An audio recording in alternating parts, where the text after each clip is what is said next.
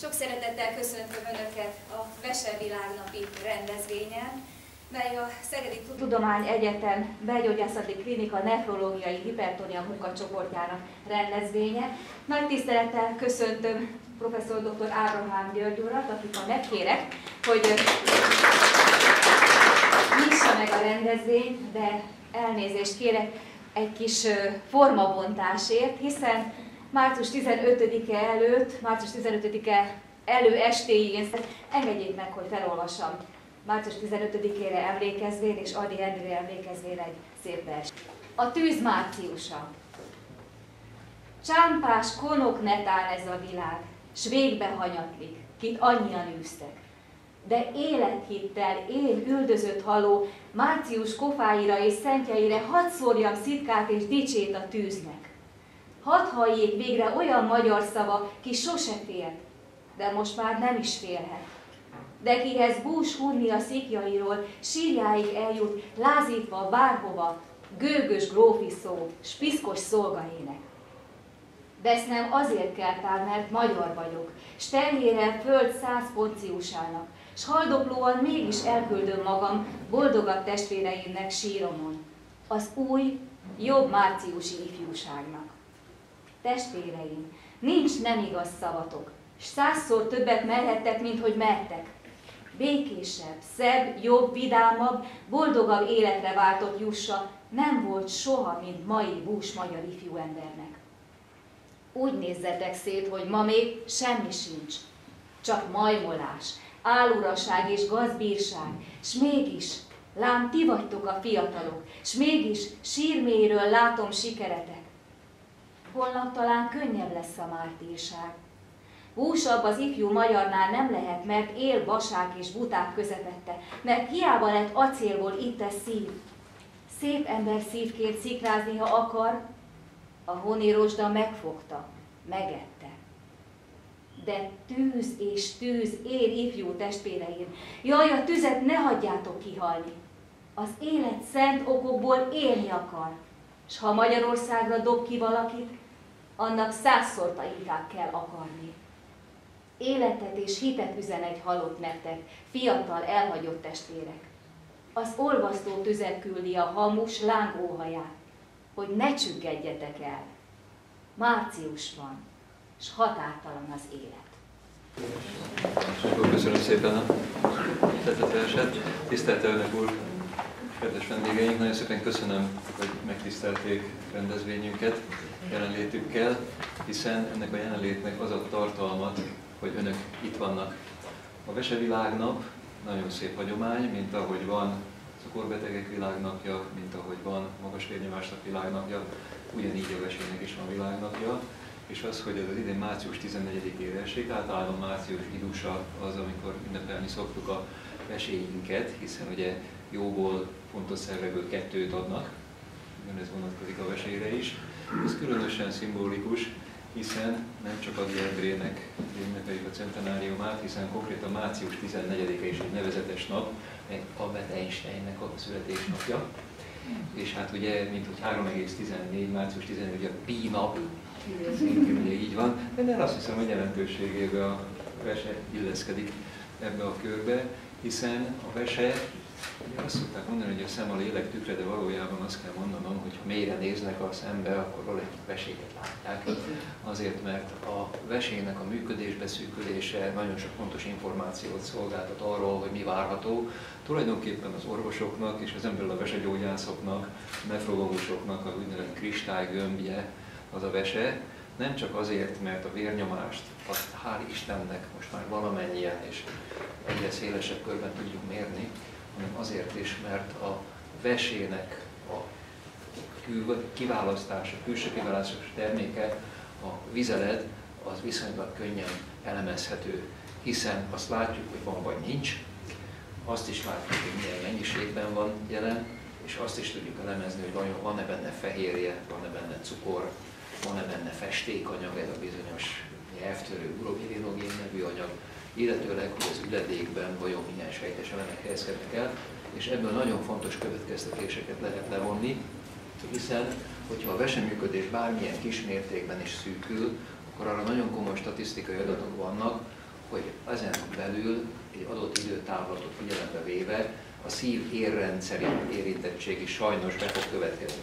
Ugye szoktak rajta úgymond csodálkozni, hogy honnan tetszik tudni, hogy mi fog következni. Hát egyrészt kitaláltam, másrészt meg megtanultam, mert tudom. Hát ha például a veseműködést beosztjuk öt fokozatra, és az öt fokozatot azt szerint osztjuk, hogy a méreganyagokat milyen mértékben tudja a vese kiválasztani, akkor nagyon világosan meg lehet azt mutatni mondjuk egy 5 éves futamidővel, tehát a futamidő azt jelenti, hogy meddig vizsgáljuk azokat a pacienseket, követjük, akiknek a veseműködését először meghatároztuk, hogy vajon, ha fölteszem a kérdést, hogy minek a nagyobb a valószínűsége 5 éven belül, az, hogy úgynevezett végstádium veselégtelenség alakul ki, azaz egy olyan veselégtelenség, amelyet vesepótló kezeléssel, gépi úton, hasűridialízissel, vagy esetleg vasatranszplantációval kell uralni, vagy pedig annak nagyobb a valószínűsége, hogy a vesebeteg valamilyen szívérendszeri történésben elveszti az életét, akkor egészen érdekes adatok jönnek ki. Tehát, hogyha úgynevezett második fokú veselégtelenségről van szó, amit észesen veszünk, mert mindössze azt jelenti, hogy a úgynevezett 90 fölötti méregjelző hányadós helyett csak mondjuk 60 és 90 között van ez az úgynevezett GFR-nek nevezett szűrő érték, akkor már egy 5 éves futamidővel az, hogy valaki ebből a stádiumból vesepótló kezelést, tehát művese kezelést igénylő kezelést fog igényelni, az mindössze kb. 2 százalék, tehát 100 paciensből 2. De az, hogy meghal, az 20 százalék. Tehát igazából nem az fenyegeti a vesebeteget, hogy majd a veseműködés elmegy, mert azon tudunk egyfajta módon segíteni, hanem az, hogy nem éli meg azt, hogy ilyen probléma legyen. Vagy hogyha az úgynevezett hármas stádiumba kerül a paciens, tehát a jelző értéke bekerül 60 és 30 ml per testfelület közé, akkor körülbelül 3-4 százalék az esély annak, hogy ebből végstádium veselégtelenség lesz, de 25 százaléka az esély annak, hogy 5 éven belül már nem lesz köztünk. És hogyha a negyedik stádiumról beszélünk, amikor azt jelenti, hogy már 15 ml környékére csökkenet a méregtelenítő kapacitás, abban az esetben az, hogy 5 éven belül a vese elveszti a működését, tehát értelemszerűen itt magasabb lesz, tehát itt eléri a 20%-ot, de az, hogy ezt a beteget valamilyen szívérendszeri történés éri, az 45% lesz. A 45% az a, az a biológiában azt jelenti, hogy minden második beteg nem fogja megérni vesebetegségét. És ha azt kérdezik tőlem, hogy vajon hogy lehet ezzel ellen védekezni, hogy lehet ezt megelőzni, mert a megelőzésen van a hangsúly, akkor azt kell mondanom, hogy akik mi most együtt vagyunk, azok szerencsések, mert azokat az úgynevezett apró trükköket megtanuljuk, amivel egész hosszan fogunk tudni a vesénkkel együtt élni, mert bárkinek is a veséje 120-130 éves korára felmondja a szolgálatot, úgy van megtervezve. De ezt nem szoktuk megvárni. Hát a tervező az nagyon fontos volt, mert azt mondta, hogy 130 év mondjuk a vese, nekünk mondjuk van 100, akkor még mindig van 20-30 év tartalék. És ez azért van, mert amikor a veseműködés elkezd beszűkülni, akkor tulajdonképpen én úgy szoktam fogalmazni, hogy a vese elkezd őszülni. Azt mindenki érti. Vagy hogy mondjuk már nem olyan rugalmas a vese, mint amilyen a bőrünk, és egy picit már egy-két ránc esetleg valahol rajta, nyilván a hölgyek kivételek, de hát férfiaknak ez megjelenik. A vesénél is ugye ugyanez van, hogy elkezd idősödni a vesén, és ilyenkor azt tapasztaljuk, hogy a vesének az idősödése, a korosodása, az meghaladja az általános életkornak a naptári idősödését. Tehát gyorsabban kezd a vese idősödni, és ezáltal funkciót veszteni, és ezt kell nekünk valahol megakadályozni. Tehát tulajdonképpen a vese fiatalságát kell megőrizni azzal, hogy naponta van legalább ugye, másfél-két liter vizeletünk, azzal, hogy okosan étkezünk, nem diétát mondtam. A diéta az egy más kérdés. Az okos étkezés valójában azt jelenti, hogy vigyázunk arra, hogy mekkora legyen a fehérje terhelés, vigyázunk arra, hogy mennyi legyen a zsír, és akkor már vigyáztunk is a koleszterinre, a szintekre, nem feledkezünk meg a húcsavról, amely szintén még apró pici ha pemgék károsítják a vesét, károsítják az eret. Vigyázunk arra, hogy csak annyi gyulladást csökkentőszert vegyünk, amennyi feltétlenül szükséges, és csak addig, azért, mert ezek az úgynevezett nem steroid gyulladásgátló bizony nagy ellenségei a vesének, hiszen ott bekoncentrálódnak, és ugyanúgy vigyázunk arra, hogy ne erőltessük túl magunkat, hiszen amennyivel nagyobb a fizikai aktivitás, annyival csökken a vesének a keringése. Képzeljük azt el, hogy egy átlag embernek van 5 liter vére. Mindannyian kicsit tőlük körülbelül 4 és 5 liter között változunk, és a vesében egy perc alatt, nem tévedés, egy perc alatt egy liter két deci vér folyik keresztül. Ez azt jelenti, hogy a teljes vérmennyiségünknek a 22-25%-a egy perc alatt átáramlik a vesén. Ez valami hihetetlen teljesítmény. És mindehhez a teljes oxigénfogyasztásunknak, amit egy perc alatt elfogyasztunk, csak a 7, 7 7-es, 7 százalékát veszik a vese. Ez azt jelenti, hogy ez nagyon jó ki van találva. Tehát hihetetlen optimalizálással, nagyon jó hatásokkal dolgozik a vese, de emiatt nagyon érzékeny az oxigén hiányra, és akkor már is értjük azt, hogy nem csak egy fázis, egy közhely, egy frázis, hogy kérem fizikai megterhelés kerülje, vigyázzon arra, hogy hogyan étkezik, hogyan eszik. Azért, mert olyan sárga vagy piros tablettán nincs, amivel a vesének a idősödését és a funkcióbeszűkülését mérsékelni tudjuk. Olyan szerünk van, amivel normalizálni tudjuk 140 per 90 alá a vérnyomást, olyan szerünk is van, amivel koleszterint állítunk, amivel úgysavat állítunk, és hát bizony a diéta és az életmód nagyon fontos. Hát ezekről nagyon fontos elemekről fognak a munkatársai előadást tartani, és sok szeretettel köszöntöm Moros Dina asszonyt, aki eljött hozzánk, Recsegi Erda asszonyt és Fejesség Maratonás segítő. Ők fognak most előadást tartani. Boros főorvosnő ugye arról fog beszélni, hogy vajon a vesebetek, a vese elégtelenségnek és a vese funkció beszűkülésnek milyen okai lehetnek, milyennek a klinikuma, milyen tünetei jelennek meg ennek az állapotnak. Lehetséges a főorvos az étrendnek a fontosságáról fog beszélni, és Imola pedig összefoglalja az életmódot, hiszen a stílus az ember, úgyhogy ahogy élünk, az visszatükröződik a veségben is, és egy dolgot megígérhetek, hogy latin kifejezés nem fog elhangzani. Köszöntöm a itt lévő betegeket, hallgatókat, kollégákat. A következő négy órában a krónikus veseelégtelenségről szeretnénk beszélni. Kezdjük az anatómiát. A vese az egy páros szerv, ami a hashártya mögött deréktájon helyezkedik el a szervezetünkben. Mint látják, tele érrendszerrel. A vizeletképzés alapegysége a glomerulus, ezért mondtam, hogy nagyon nehéz nekünk nem latinul beszélni. Ezt vesetes testestének nevezzük ezen keresztül folyik át az a nagy mennyiségű vér, amit professzor úr is említett, és ebből lesz majd a vizelet. Mik is a Vesel feladatai? Mint mondtam, vizeletképzés történik, illetve a vérből a méreganyag eltávolítás történik itt meg, de nem csak a vizeletképzéshez kell a vese, hanem szükség van ahhoz, hogy jól működjön a vérképzés is a szervezetbe, mert termel egy vérképző anyagot, és a működés csökkenéssel ez a vérszaporító hormon mennyisége a szervezetben lecsökken. Azon kívül nagyon fontos a csontháztartásban is, hiszen a D-vitamin anyagcserére is hatással van.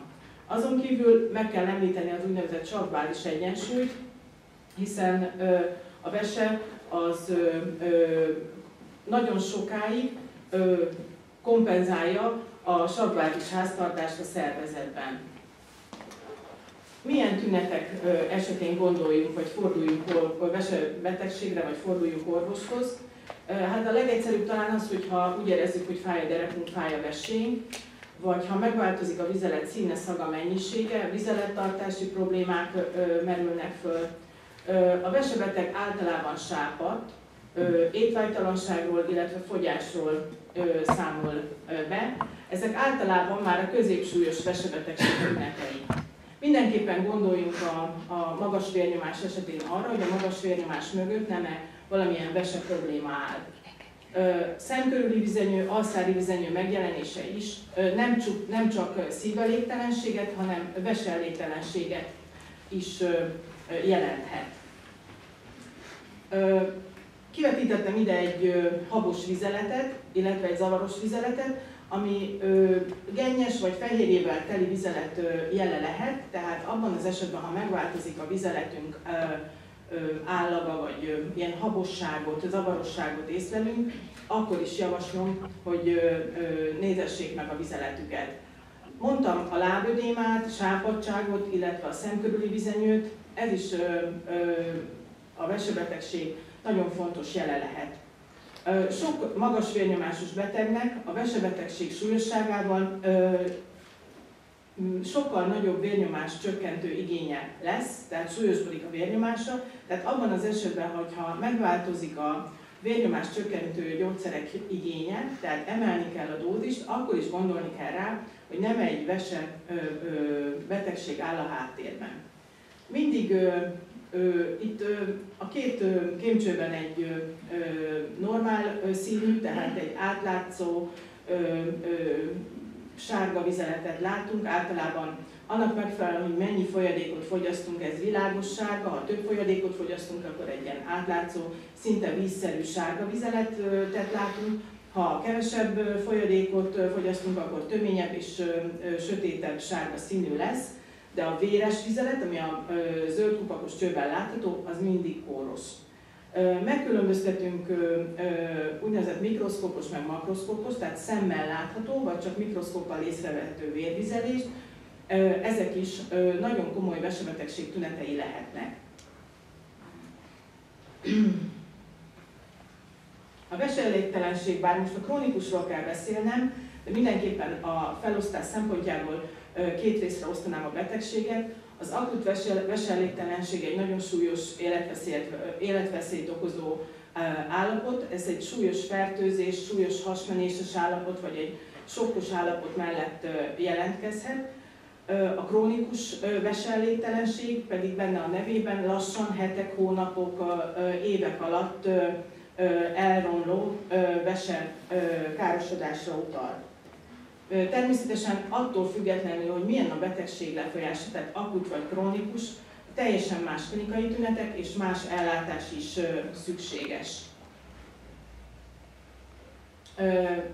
A nefrológus az az orvos, aki általában belgyógyász és a vesére specializálódik, tehát a vese problémákkal a nefrológushoz kell elmenni, Általában mi is történik, mint a professzor úr is mondta, sajnos a vesét nem tudjuk egy-egy tablettával meggyógyítani, nagyon komolyan körbe kell járni ahhoz, hogy megtudjuk, hogy pontosan mi váltotta ki a betegséget.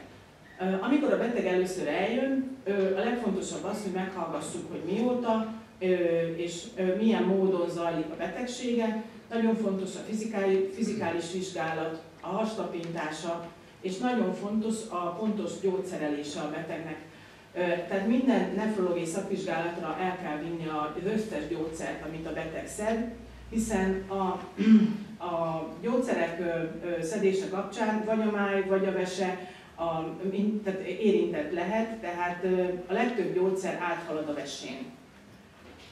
Gyakran szükséges, hogy társbetegség vagy társ szakmák segítségét kérjük. Mindenképpen kiemelném férfiaknál, hogy a prostata megnagyobbodás nagyon komoly vesebetegségeket okoz, ezért a férfiaknál az urológiai vizsgálat szinte elengedhetetlen. Illetve a nőknél pedig a nőgyógyászati vizsgálat.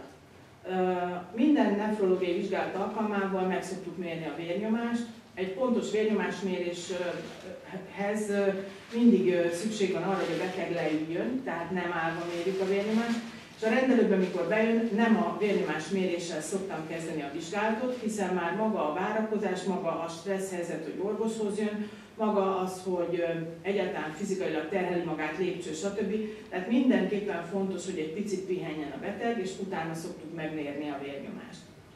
Mivel a legtöbb vesebeteg magas vérnyomással ö, ö, rendelkezik, vesebetegnek magas a vérnyomása, ezért nagyon fontos, hogy egy 24 órás mérést is elvégezzünk. Ilyenkor a betegre úgynevezett vérnyomás holtert szoktunk feltenni, ami az éjszakai vérnyomást is, illetve a napi ingadozásokat is egy nagyon szép grafikonon ábrázolja, és ez nekünk azért fontos, hogy lássuk, hogy a beteg vérnyomása mikor igényel esetleg több gyógyszert, és ezek alapján tudjuk a a vérnyomását normalizálni. De nem, tehát legalább ilyen fontos az is, hogy a beteg otthon mérje a vérnyomását és vezesse a könyvét, amit minden betegnek ki szoktunk osztani, és itt az előtérben is próbáltuk biztatni önöket arra, hogy vezessék a vérnyomás naplót, akár házi orvosnak, vagy akár a nefrológusnak ezt a kontrollok alkalmával el kell vinni. Szó volt arról, hogy a szem a lélek tükre, hát én is erre gondoltam a következő gondolatnál, tehát a szemfenéki kép is mindig nagyon fontos, hiszen a, mind a magas vérnyomás, mind a cukorbetegség személyzeti szövődményt okoz, és a szemfenéki kép az nagyon sok mindent elárul orvosoknak a betegről. Milyen laborvizsgálatokat végzünk? Tehát ha arról van szó, hogy a vese funkciót rossz önnek a vese funkciója, mire gondolunk? Az ureanitrogén és a kreatinin érték az, amelyik a méreganyag szinteket mutatja, ezt a vérből mérjük. A GFR érték az pedig a glomerulus, amit az elején mutattam, a glomerulus filtrációs ráta, az egy számolt érték, tehát a kreatinin értékből és a, a, abból adódik egy számolt képlet, hogy férfiről, nőről, illetve hány éves betegről van szó, minden labor már feltünteti a kreatinin alatt a GFR értéket, és ennek a ö, mértékét vesszük figyelembe, hogy a beteg betegsége során mennyire romlik vagy javul az állapota. Ez a két érték, a kreatinin és a GFR fordított arányban van. Tehát ha valakinek romlik a betegsége, akkor a kreatinin érték nő, és a, általában az ureanitrogén is, és a GFR érték pedig csökkenni fog. Nagyon fontos, hogy megnézzük a beteg ionháztartását, ezek a kálium, a nátrium, a bikarbonát, a kálcium, a foszfát, tehát ez mind-mind a veseműködés csökkenésével változhat, és mindegyik nagyon fontos a korrigálás szempontjából. Illetve itt van ez a PTH, parathormon. A parathormon az a mellékpajzs hormont jelenti, ami, mint mondtam, a vese a D-vitamin anyagcserére is hatással van, illetve a csontanyagcserére, tehát a parathormon szint változása is a nefrológus gondozó orvos feladata, hogy ezt kövesse. Megnézzük a vérzsírokat, a vasat, vérképet, a gyulladásos értékeket, és itt három felkiáltó jellel írtam be a vizeletvizsgálatot, mert a legtöbb beteg meglepődik, hogyha a nefrológián a kezébe nyomunk egy poharat, mert a vizeletvizsgálat mondja el a legtöbbet a vese állapotáról. Illetve megnézzük a vércukrot, meg a hemoglobin. A hemoglobin A-C az ugye a tartós vércukor, vagy az elmúlt három hónap vércukor anyagcseréjét tükröző laborérték, ami nekünk azt mutatja, hogy ha egy kezelt, vér, kezelt diabéteses betegről van szó, hogy akkor az ő anyagcseréje éppen milyen állapotban van. Hiszen egy vércukor az egy pillanatnyi állapot, azt egy föl is tudjuk pillanatok alatt nyomni, tehát hogyha eszünk egy fült szőlőt például, ha valaki cukorbeteg vagy egy tortát, illetve tudunk nagyon jó kis vércukrot is mutatni, hogyha az ember tudja, hogy orvoshoz készül, akkor egy pár napig vigyáz arra, hogy mit ö, fogyaszt. Tehát a hemoglobin A1-t azt nem lehet becsapni. Ö, illetve képalkotó vizsgálatokat is szoktunk ö, kérni. A leggyakoribb és nem fájdalmas képalkotó vizsgálat, ami egyáltalán nem ártalmas, az a hasi ultrahang. De van, amikor szükség van CT vizsgálatra, illetve érfestésre, ezt angiográfiának hívjuk, ezek már kontrasztanyagos vizsgálatok, Tumoroknál, érszűkületeknél szoktuk ezeket a vizsgálatokat kérni. Nagyon sok betegsége lehet a vesének, nem is nagyon tudnám egy lapon felsorolni, a leggyakoribbak próbáltam ide felsorolni. Immunológiai betegségek, ez lehet primeren a veseimmunológiai betegségek, vagy a szervezet autoimmun betegségének valamilyen részlet, rendet, vesét érintő betegsége is okozhatja. Egy visszatérő recidiváló húgyúti fertőzés is tönkreteheti a vesét. Daganatok is okozhatják, primer vese daganat, amikor mondjuk egyik vesét el kell távolítani, mint mondtam, a vese páros szerv. Tehát ha az egyik vesénket kiveszik, a másik még nagyon szépen működhet, Viszont az a, bete, az a vese, a megmaradt vese, az dupla munkát fog végezni a következő 20-30 évben, ha valakinek mondjuk 40 évesen veszik ki a veséjét. Ezért nagyon fontos, hogy az egyvesés betegek járjanak a nefrológiai gondozásba, hogy arra a vesére fokozottabban tudjanak, tudjunk figyelni.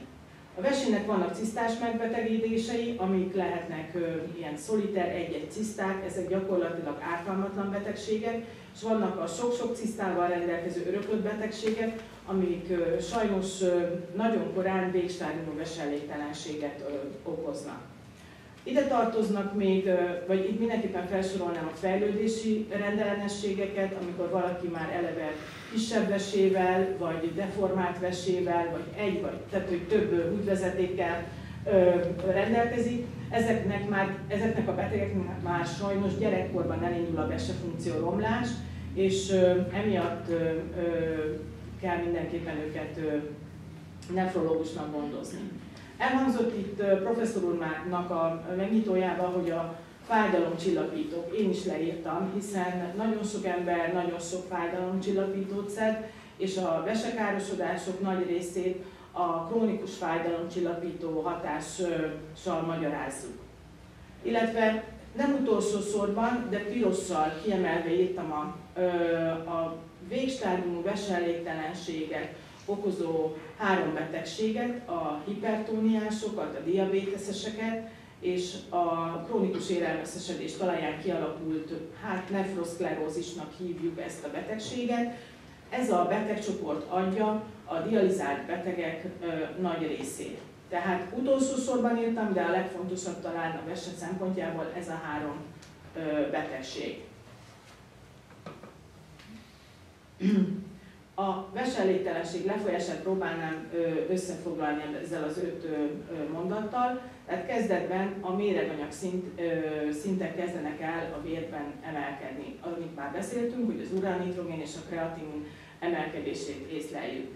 Vizenyős szemek, lábak jelentkeznek, ha a vizenyő a tüdőben rakodik le, akkor fulladással is járhat, a vérnyomás, mivel sok a folyadék a szervezetben nő, nagyobb vérnyomás igény, vagy vérnyomás csökkentő igény jelenik meg.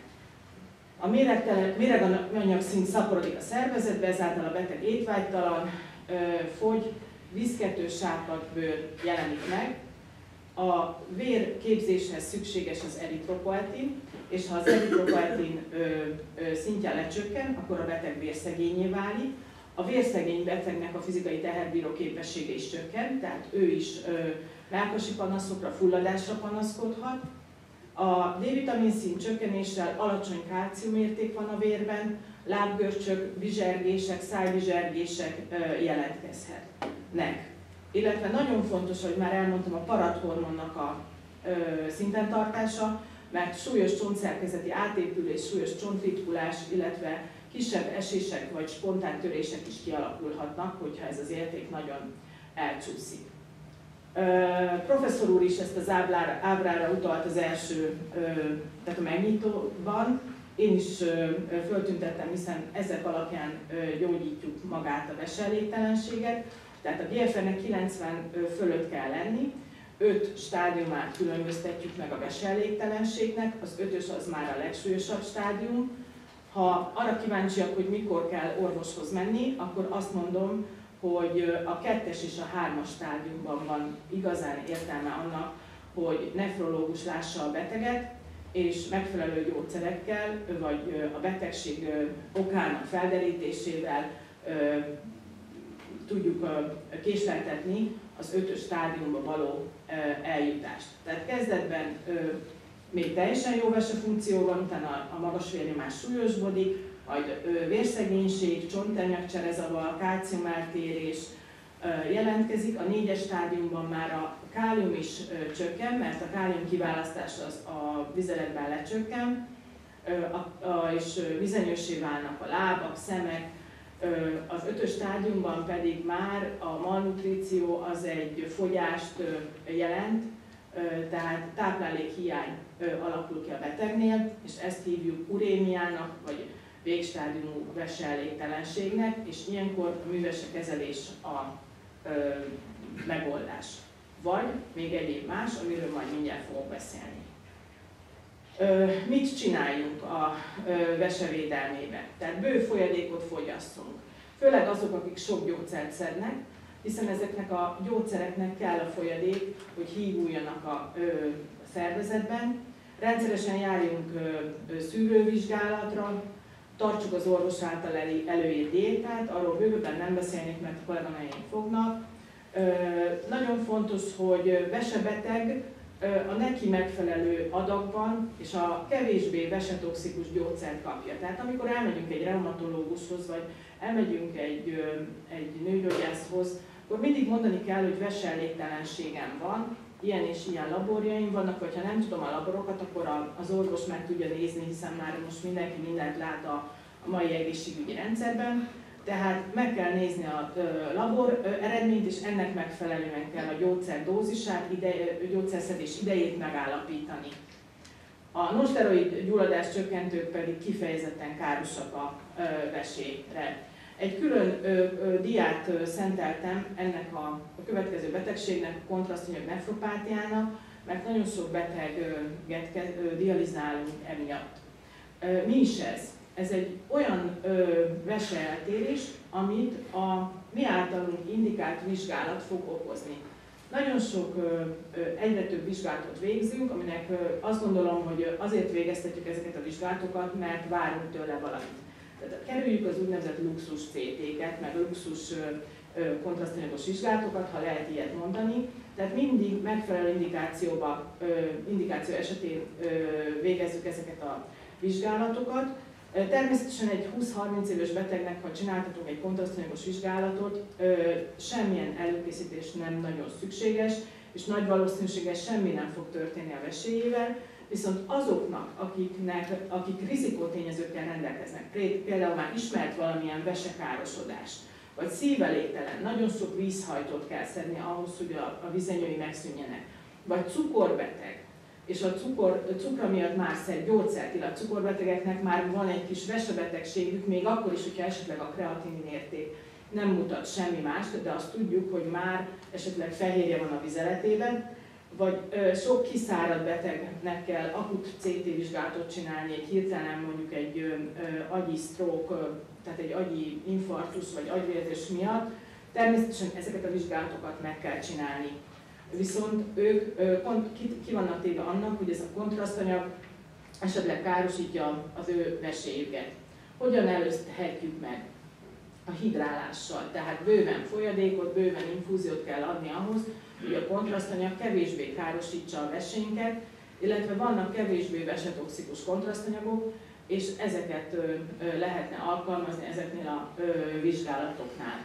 A szívkatéteres vizsgálat is kontrasztanyagos vizsgálat, de azt sem luxusból csináljuk, tehát általában aki oda jut, annak szüksége van erre a vizsgálatra, de ne felejtsük el, hogy védjük a vesénket ebben az esetben. Felsoroltam mindenképpen a metformin tartalmú gyógyszereket, mert ezeket a kontrasztanyagos vizsgálatok előtt abba kell hagyni. Biztos többen cukorbetegek, vagy ismerik, ha más nem a családból. Vannak a metfogamma, adimet, meforál, a leggyakoribbakat próbáltam leírni, és vannak az úgynevezett kombinált készítmények, ami kettő vagy akár több hatóanyagot is tartalmaznak, de azokban is van metformin. Tehát olvassuk el, hogy van-e benne metformin, mert azokat a CT vizsgálatok előtt abba kell hagyni. Jó? Mert ezzel fokozzuk a kontrasztanyag vesetoxikus hatását. Mint mondtam, a vesegondozás célja az, hogy megtaláljuk az alapvesebetegséget, hogy mi váltja ki a betegnél a vesekárosodást. A meglévő tüneteit próbáljuk mérsékelni, tehát csökkenteni a vizenyőt, beállítani a vérnyomást, ezáltal az életminőségét javítani, nagyon fontos, hogy a gondozás során az orvos és a beteg között egy, a kapcsolat elmélyüljön, tehát amit az orvos mond, azt a beteg próbálja elfogadni, és mivel ez a betegség, a le, tehát amiről most beszélek, ugye a krónikus vesebetegség, ez egy hosszú ideig tartó folyamat, nagy valószínűséggel a beteg hosszú ideig jár az orvoshoz, ezért az orvos és a beteg megismeri egymást, és a veselégtelenség, tehát a végsősorban a veselégtelenség kezelését modalitását úgy hívjuk, ki tudjuk választani ez idő alatt a beteggel egyetértésben. Tehát lehet konzervatív módon kezelni a betegséget, ez jelenti a diétát, gyógyszert, ez általában a négyes stádiumig megy. Az ötös stádiumban döntenünk kell, tehát a veselégtelenség ötös stádiumában, hogy merre viszi tovább, visszük tovább a beteget. Tehát a művesekezelés, az, ha arról beszélünk, akkor a hemodialízist jelenti. Tehát Amikor vérútján mérettelenítjük a vesét, a peritoneális, az egy otthon végzett hasi dialízis kezelés, illetve a harmadik út, ami lehetséges, hogy transplantál, tehát egy, egy transplantáltatjuk a beteget, azaz a beteg kap egy vesét, és ezáltal teljes életet fog élni, ugyanolyat, mint korábban.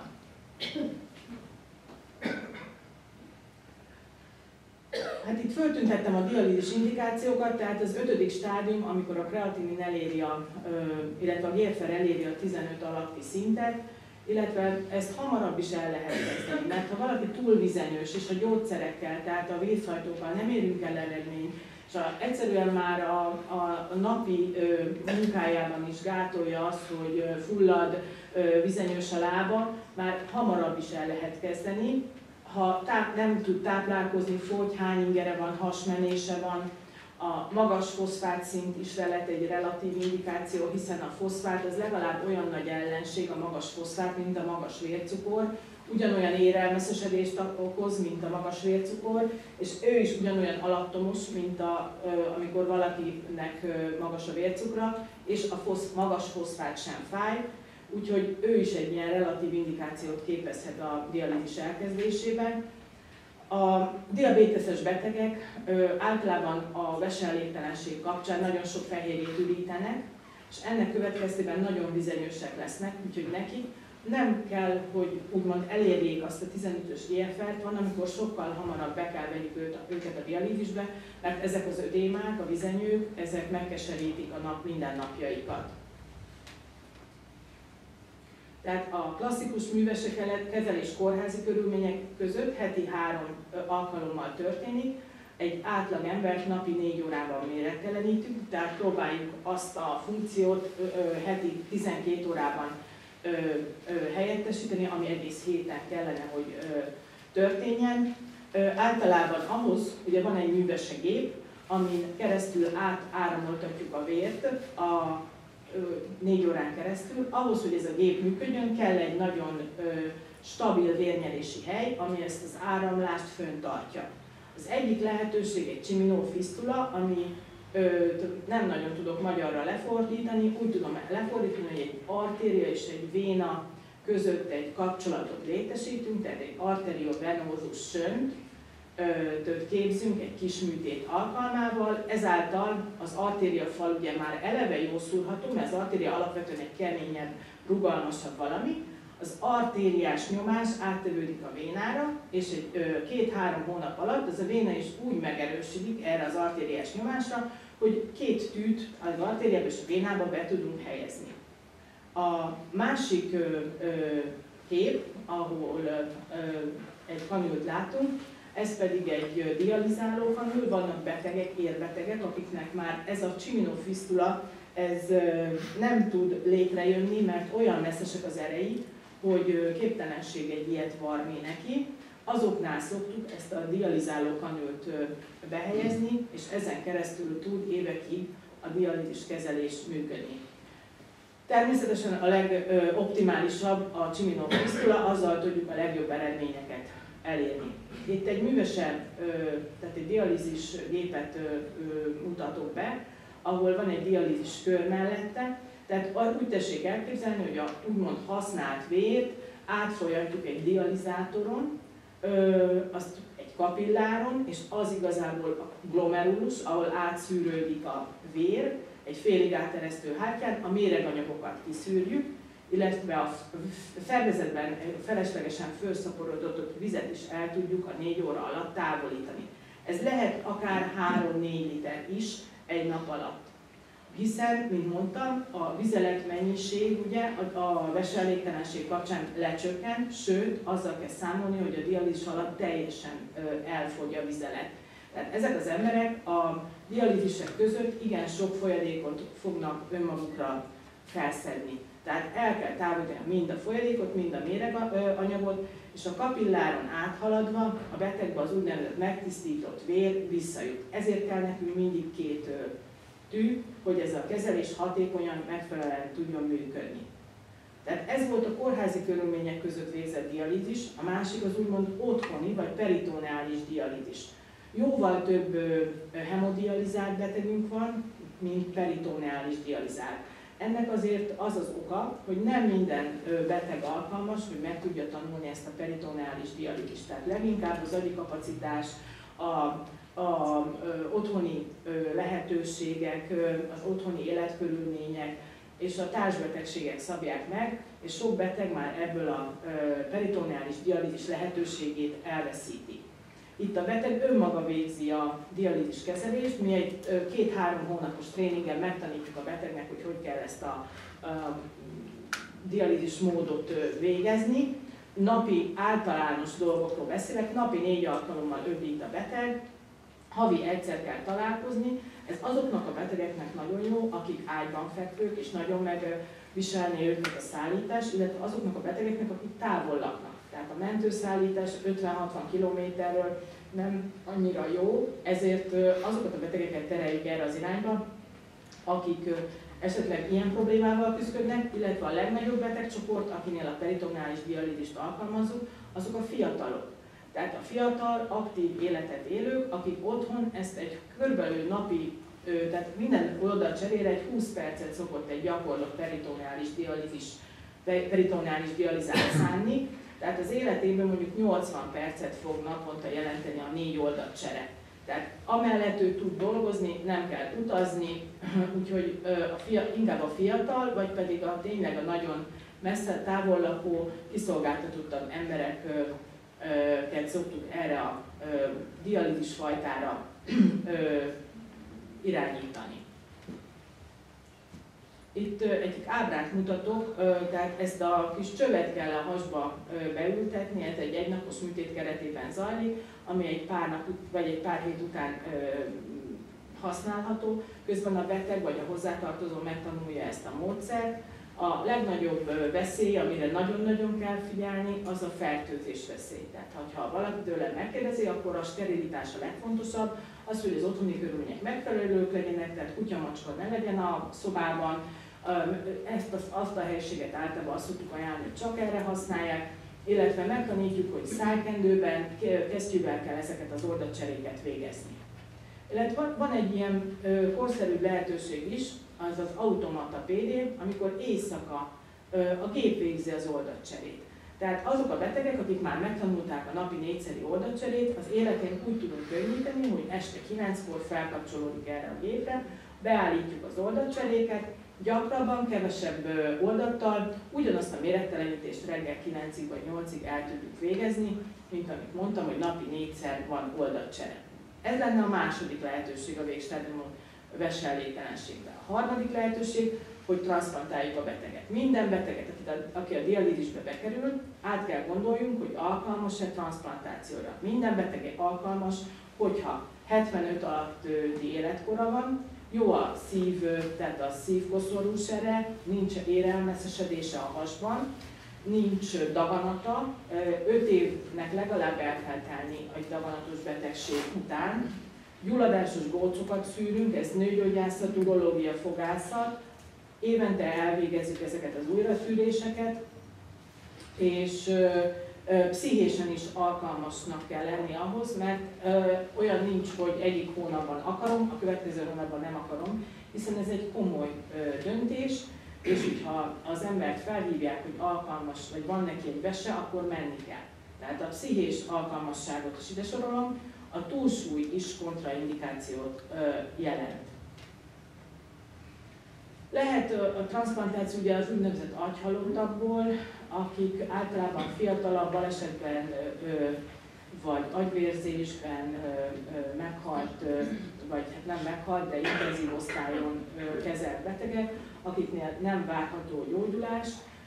Ezekből a betegekből lehet donor, mindenki lehet donor, kivéve a kiskorúak, illetve kivéve akkor, hogyha ő nem tiltakozott papíron, tehát életében nem tiltakozott a transplantáció ellen. Tehát ez a szabályozás. Nagyon fontos, hogy mindenféle, tehát hogy adhatja ugye az egyenesági rokon, illetve élettárs férj-feleség, természetesen megfelelő szülővizsgálatok után, tehát azért a vér, nagyon komoly ö, vizsgálatokon kell keresztül menni, hogy ki az, aki ö, alkalmas arra, hogy a betegnek ö, ö, vesét adjon. Nagyon fontos, hogy ne legyen ö, ö, erőszak, vagy kényszer, illetve a közjegyző előtt kell nyilatkozni, hogy semmiféle kényszer nincs a vesetransplantációval kapcsolatban. Jó lenne, hogyha egyre több élődonoros transplantáció lenne, mert itt a szövődmények is kevesebbek. Mit is jelent ez? Tehát a testvér, apa, férj adhat a betegnek vesét, tehát akkor sok nagy valószínűséggel, hogyha vérszerinti rokontól kapja a beteg a vesét, akkor kevesebb a szövődmény. Számokat tüntettem föl végezetül, 6-700 ezer besebeteg van, van, ahol már közel 1, milliónak, 1 milliót mondanak, számuk 6%-kal nő, a krónikus dialízisban programban kb. 6-7 ezer beteg van, és akut dializált, aki csak esetleg átmenetileg kerül a programba, az legalább ugyanígy 6-7 ezer beteg.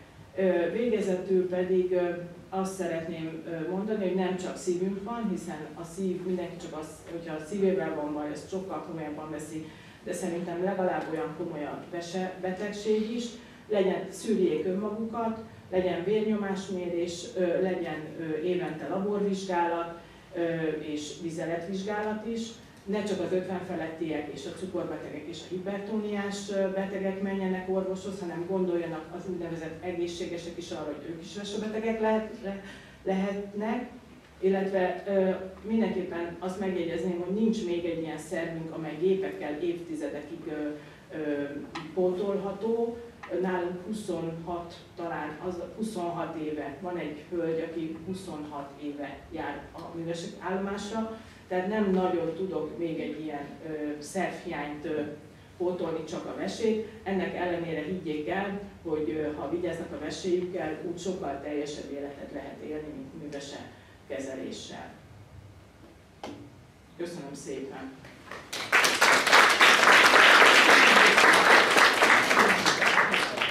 Köszönöm szépen.